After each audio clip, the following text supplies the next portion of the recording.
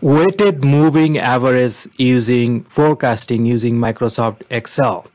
In this method, we um, weight the previous data. In the uh, regular moving average method, we simply average um, the previous periods to get the next period forecasting. For example, if it's a three period moving average, we average the three periods to get the next period.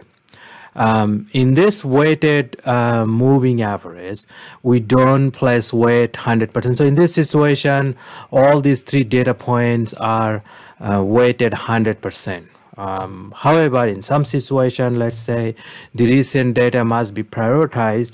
So then simply say I want to place 60% weight on that, uh, on the recent cell maybe, that probably predict better the next period than the long time back cell.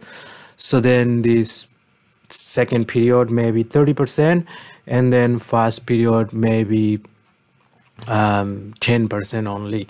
And because I'll be using this uh, percentage for all the next periods. So I freeze um, all of them by putting a dollar sign before and after, copy all the way down, and that's it for the uh, weighted moving average forecasting.